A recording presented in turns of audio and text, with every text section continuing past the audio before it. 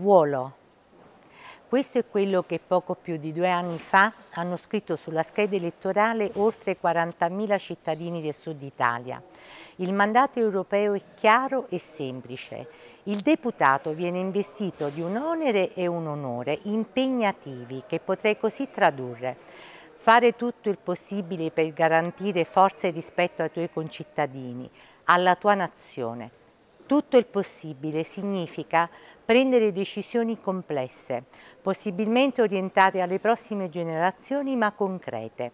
E per mantenere fede a questa logica ho deciso, da oggi sono nel Partito Popolare Europeo, una famiglia enorme composta da quasi 170 deputati a Bruxelles, rappresentanti di governo e referenti di spessore, disseminati in ogni angolo del nostro continente.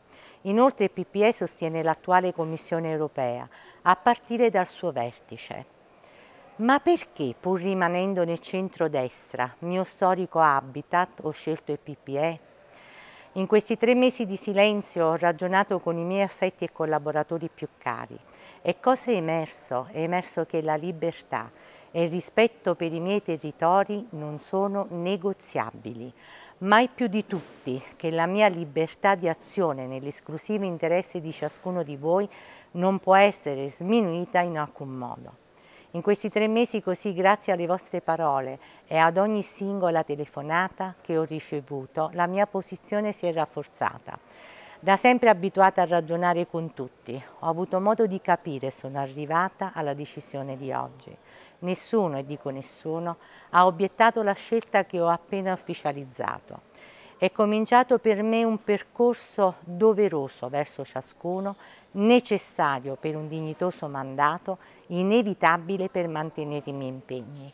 Ma più di tutti inizia un cammino nel segno della libertà e del rispetto. Ho risolto questioni sospese, ho riallacciato rapporti con gli amici di sempre e con la risolutezza ho assunto delle decisioni che anticiperò a breve. Ho avuto modo di parlare più volte con il Presidente Silvio Berlusconi e con il Presidente Antonio Tajani. Con loro posso dire di aver instaurato un rapporto fondato sul rispetto e sulla correttezza. Ed è anche questo che farà la differenza per tutti noi. Ma perché te ne sei andata? Questa è la domanda più ricorrente tra militanti, amici e giornalisti. La vita non mi ha mai regalato niente. Tutto quello che ho l'ho conquistato con sudore e determinazione. A volte però per mantenere i miei impegni politici ho dovuto fare scelte radicali ed è stato questo il caso.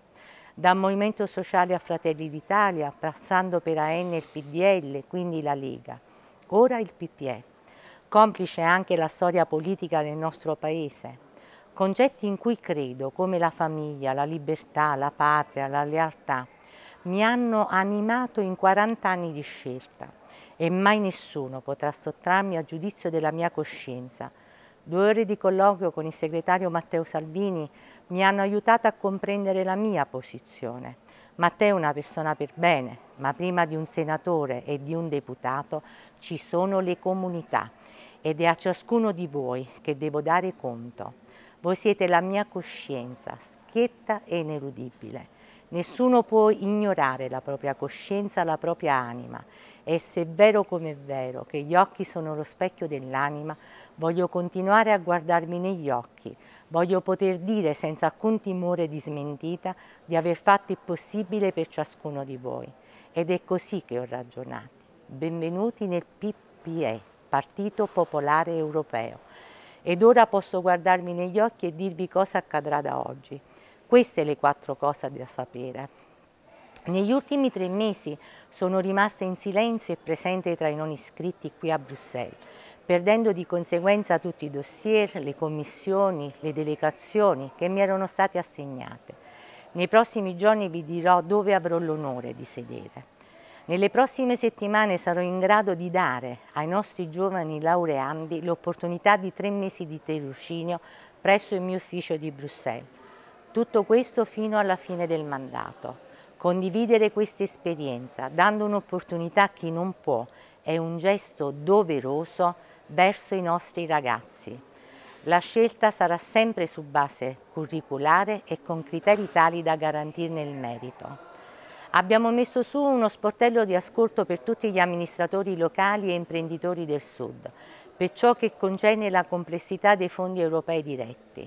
La base operativa è e sarà la segreteria politica di Salerno.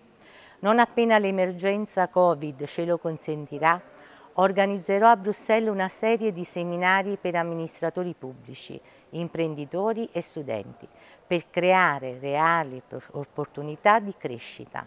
Saranno al mio fianco accademici e specialisti italiani, perché è così che deve essere. Concretezza, questa è la parola chiave.